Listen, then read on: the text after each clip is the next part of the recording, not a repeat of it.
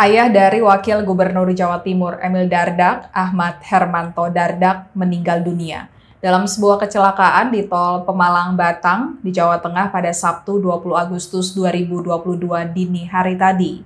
Emil Dardak telah tiba di rumah duka di kawasan Duren Sawit, Jakarta Timur bersama sang istri Arumi Bashin sekitar pukul 10.20 waktu Indonesia Barat pagi tadi. Emil mengaku ikhlas atas kepulangan sang ayah.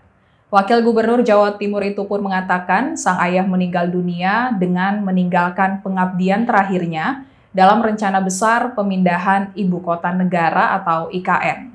Ahmad Hermanto Dardak saat ini menjadi bagian mensosialisasikan pemindahan IKN sebagai ketua tim pengarah infrastruktur IKN Kementerian Pekerjaan Umum dan Perumahan Rakyat atau PUPR.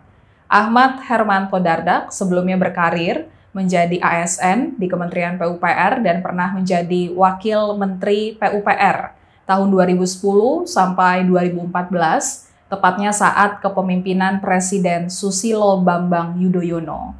Saat itu Ahmad Hermanto Dardak mendampingi Menteri Pekerjaan Umum atau Menteri PUPR Joko Kirmanto.